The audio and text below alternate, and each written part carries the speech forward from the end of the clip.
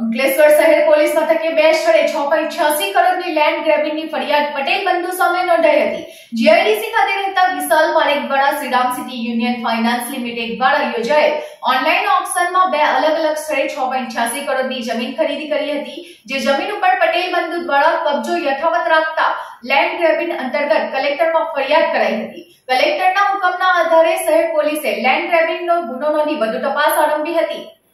Ankleshwar GIDC ખાતે આવેલ new colony ખાતે રહેતા વિશાલ પારેખ દ્વારા Shriram city union finance limited પાસેથી સર્વે નંબર ચારસો ને ચુમ્મોતેર પૈકી પ્લોટ નંબર ત્યાંસી ઓબ્લિક એકને ઓનલાઈન ઓક્શનમાં બીડ ભરી ખરીદી કરી હતી, જેના અંદાજે ત્રણ પોઈન્ટ સાહીઠ કરોડની ખરીદી કરી લીધી હતી, જે જમીન ઉપર ભરતભાઈ મગનભાઈ પટેલ દ્વારા હાલ કબજો ધરાવે છે. તેમાં જોકે ઓનલાઈન તે જમીન ખરીદી કર્યા બાદ પણ ભરતભાઈ મગનભાઈ પટેલ ખાલી ન કરી ધાકધમકી આપવા અંગે જિલ્લા કલેક્ટરમાં ફરિયાદ કરી હતી. જે તપાસના આધારે જિલ્લા કલેક્ટર દ્વારા શહેર પોલીસ મથકે ફરિયાદ નોંધવાનો હુકમ કરતા પોલીસે ભરતભાઈ પટેલ વિરુદ્ધ લેન્ડ ગ્રેબિન એક્ટ હેઠળ ગુનો નોંધી તપાસ આરંભી હતી. આ ઉપરાંત Vishal પારેખે Shriram city union finance limited પાસેથી સર્વે નંબર ચારસો ને છોતેર ઓબ્લિક પી, ચારસો